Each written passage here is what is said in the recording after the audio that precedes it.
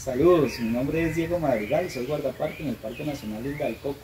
Vivir en la Isla del Coco para mí es un sueño hecho realidad y sobre todo la mayor oportunidad que he tenido para convivir en armonía directa con el medio ambiente y para aportar mi granito de arena a la protección y conservación de los recursos naturales de nuestro país.